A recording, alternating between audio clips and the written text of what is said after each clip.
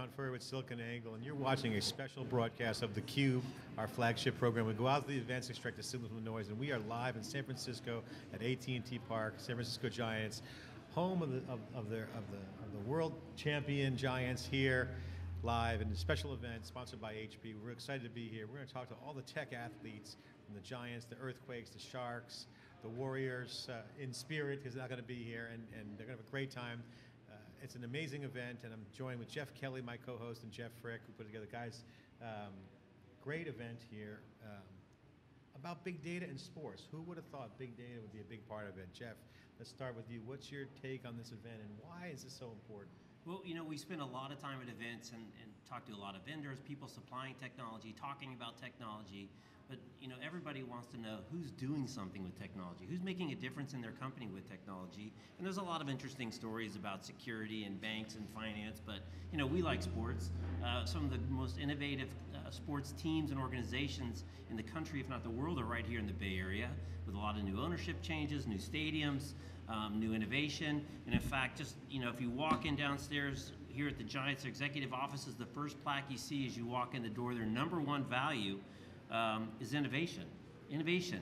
So we're really excited. We've got some of the greatest practitioners of big data out there, and unlike most of us, most of us don't work every day in front of 40,000 people watching us live, and not to mention how many on TV. So it's a special uh, group of people that really are taxed to deliver each and every day, and uh, we're excited to get them on if you're watching theCUBE, you, you're normally used to seeing us going, getting very geeky, talking about speeds and feeds, getting in, in, the weeds in the technology, but we also like to talk about the very high level, the business impact and the leadership around big data because we are living in a modern era and we have Jeff Kelly, who's the chief analyst of the big data practice of our organization that's looking at SiliconANGLE Network, Wikibon. Jeff, you know, big data, you hear about Hadoop, data warehouses, you know, flash memory, all the, the geeky stuff that puts people to bed at night sometimes. but here we're talking about sports, mainstream consumer topics, consumerization. They're geeks too, and they have to be because to be competitive, they have to be. So what's your assessment and how do they cross over and maintain that cutting edge business advantage and still be geeky? Well, I mean, of course, you know, we talk about the different technologies that make up big data, and there's a lot of debate around that. Um, you know, whether it's Hadoop or um, analytic databases, visualization, and all those interesting technologies, but ultimately they're just enablers, John. So what they do is they enable companies, in this case sports franchises, to be more competitive.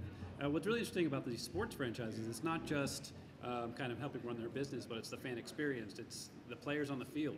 Um, so it really touches every area of their business. And of course, this kind of all kind of came to the fore with uh, Michael Lewis's book Moneyball back uh, you know 10 plus years ago with uh, Billy Beane and the Oakland A's.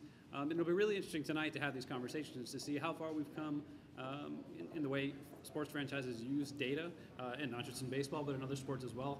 Um, I'm really interested in, in, in, some of the other sports as well because, of course, baseball, well known, tons of statistics going back, you know, 100 plus years.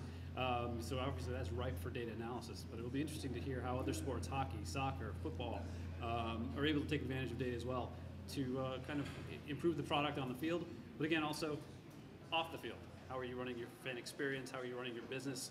Um, so it's really going to be a great night. Uh, looking forward to hearing these stories. And ultimately, you know, yeah, we talk about the technology, but it's an enabler. It's all about the practitioners driving business value, and that's what tonight's about. Jeff, I'm looking forward to hearing from them about how the game has changed relative to technology. Obviously, in the old days, scouts didn't have laptops.